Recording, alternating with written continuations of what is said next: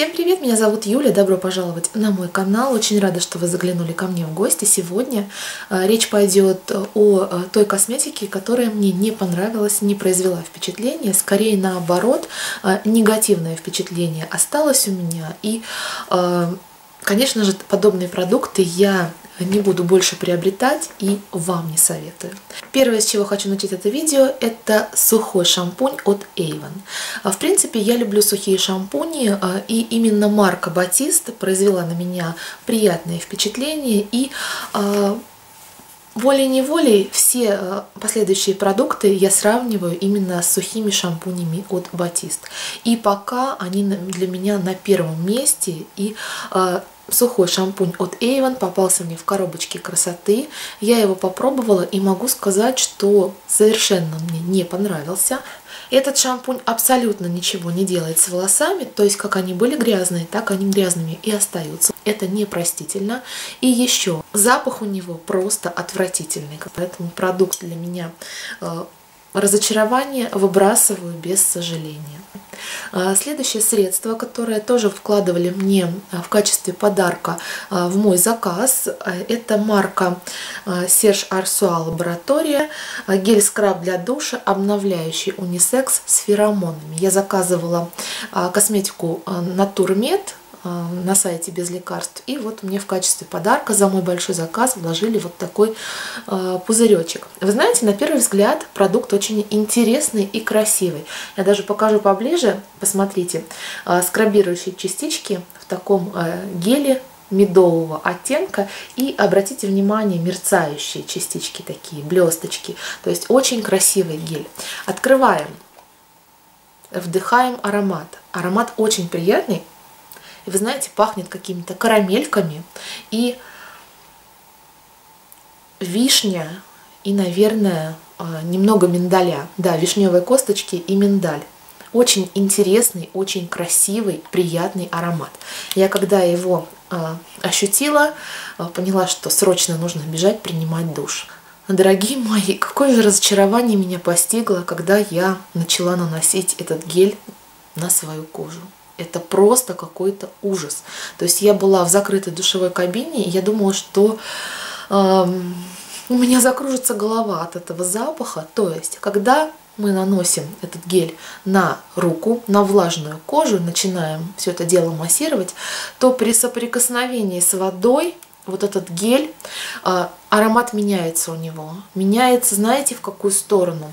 А, вот этот приятный аромат миндаля и вишневой косточки превращается в запах ацетона. Такой вот химозный-химозный запах ацетона, плюс какая-то, может быть, синильная кислота, что-то вот, вот чем-то вот этим пахнет. А, я почувствовала себя не в душевой кабине, а в лакокрасочной мастерской. Да, наверное, так. А, больше этот гель я не использовала. А, кстати, мои тоже понюхали. Мама сказала, ой, какой классный аромат. Я говорю, даже не вздумай, не пробуй его. А, ну, конечно же, она не послушала. Ну, жалко же, пахнет вкусно, красивый. Начала наносить, и я говорю, понюхай руку. Она понюхала руку и говорит, да, ацетон.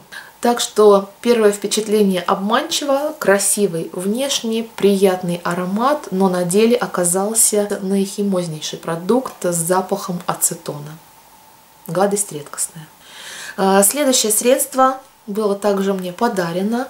А, это Avon крем для рук с пчелиным маточным молочком. Для рук ногтей и кутикулы.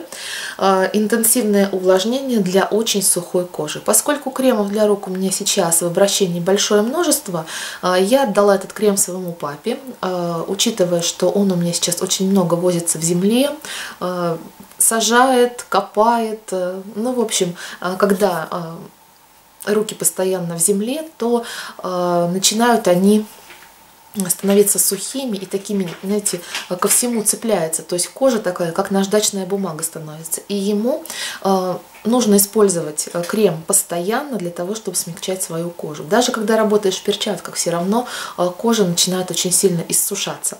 Так вот, этот крем для рук ему абсолютно не понравился. Он у меня любитель жирных текстур, он любит много использовать крема для того, чтобы так кожу напитать, особенно на ночь, и вот э, намажет, и вот так вот ложится, долгое время крем впитывается. Этот крем он отдал мне через два дня со словами «забери, и больше мне его не давай. На вопрос, почему, он сказал, он не впитывается вплоть до самого утра. Такое ощущение, что, говорит, я солидолом намазал руки, и это кошмарно. Я его убрала, и э, спустя какое-то время сама занималась на огороде и почувствовала, что у меня вот тоже сквозь перчатки э, просочилась земля. Вспомнила про этот крем. Э, у него вот такая вот жирная какая-то вазелинистая консистенция, а, он действительно не впитывается в кожу, он лежит жирной, липкой пленкой на коже. В итоге через два часа я побежала его смывать, потому что это очень неприятное ощущение, когда крем а, вот такой жирной а, пленкой, я даже не знаю, не пленкой, какой-то такой замазкой лежит на коже рук и Честно, мне очень и очень не понравилось это ощущение. А, кстати, я оставлю его, я не буду выбрасывать, я оставлю его как экстренное средство. Знаете для чего? А, когда делаешь а, химический пилинг, вот эти вот одеваешь носочки для педикюра на ноги, то потом, а, чтобы быстрее все это дело облезло, когда кожа начинает уже с пяточек сходить, а, чтобы быстрее процесс завершился, я знаете, что делала? Я мазала жирным кремом свои пяточки, стопы и одевала хлопчатые бумажные носки. И вот а, в такой вот этой вот жирной среде как-то быстрее кожа отшелушивалась. Так вот, на такие случаи вот этот крем я оставлю, а так больше его ни для чего в принципе использовать нельзя.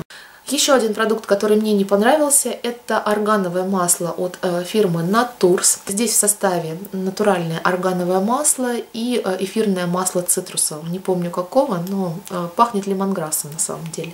Очень приятный аромат, очень приятная текстура этого масла. Но при нанесении на кожу вот этот вот запах, приятный запах цитрусовых, каких-то карамелек, лимонграсс пахнет приятными карамельками, трансформируется, и э, я чувствую на коже аромат, запах пота. Я не знаю, как это объяснить, но это именно так. И меня это настолько напрягает, настолько это неприятно. На коже лица я ощущаю запах пота. Поэтому я не могу пользоваться этим средством. Оно у меня, как видите, использовано наполовину, но я сейчас наношу его исключительно на волосы, добавляю э, как питательное органовое масло э, в маски и таким образом их усиливаю. Хоть как-то доиспользовать. Но на лицо и на тело, то есть на кожу, я не могу его наносить из-за этого неприятного запаха. И еще два продукта для губ покажу в этом видео. Это блеск а, от Faberlic, который опять же доставался мне в коробочке красоты. И а, вот такая помада от Revlon. А, помада увлажняющая Ultra HD в оттенке пиони. А, Ее я покупала уже сама. Но давайте начнем, наверное, а, вот с этого блеска. Это атласный блеск без каких-либо блесточек. Вот с таким спонжем. С очень приятным ароматом. Какие-то жвачки, конфетки, карамельки. Оттенок очень приятный, молочно-розовый. Я на самом деле очень радовалась, что наконец-то у меня появился блеск вот с таким оттенком и а, без каких-либо дополнительных блестящих частичек. Но а, каково было мое разочарование, когда на губах он стал смотреться через какое-то время как замазка. То есть поначалу наносишь, все красиво, ровно, э, деликатно все это выглядит и смотрится, но э, с течением носки уже где-то минут через 30 э, собираться начинает в белую полоску и как-то вот знаете э, на абсолютно гладких и ровных губах э, появляются какие-то несовершенства, то есть э, какие-то заломы, трещинки. Э, это первый блеск, который вот такое творит с моими губами. Абсолютно не понравился, он весь собирается, это очень некрасиво. И, конечно же, меня расстраивает состав. А, на первом месте здесь э, жидкий парафин, минеральное масло, поэтому нет. И помада от Revlon, очень красивый такой розовый-розовый оттенок, я давно такой хотела, сейчас я вам покажу. Наносится немножко даже с сиреневым подтоном он идет, то есть такой холодный розовый, красивый.